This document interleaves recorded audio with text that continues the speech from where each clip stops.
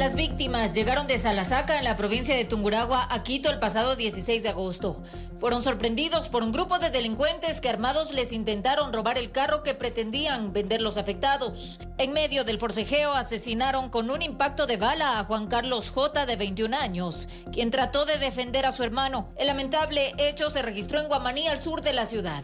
Pero la historia tomó un giro inesperado. Los gendarmes informaron que tras la captura de un sospechoso, se logró su vinculación al crimen. El victimario es de nacionalidad ecuatoriana, tiene antecedentes por el delito de robo en el año del 2008, también tiene un antecedente por el mismo hecho en este año del 2024. Las labores investigativas avanzaron a fin de dar con los responsables, una banda que estaría relacionada a otros hechos similares. El único detenido hasta el momento fue localizado en este vehículo que habría participado en el crimen. El carro está reportado como robado y cuyo propietario tampoco aparece.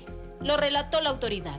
Se conoce que presumiblemente habrían participado en dos crímenes con el mismo vehículo que fue recuperado por la Policía Nacional. Se conoce que este automotor fue sustraído el 3 de agosto y existe una persona que aún se encuentra reportada como desaparecida producto de este robo.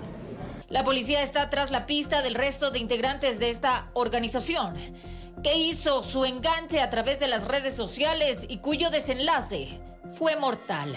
Existe cuatro participantes, una persona ya está detenida y fue formulada eh, cargos por el delito de asesinato. Nos encontramos en la búsqueda de tres personas más. El caso se indaga. Informó Marilyn Jaramillo.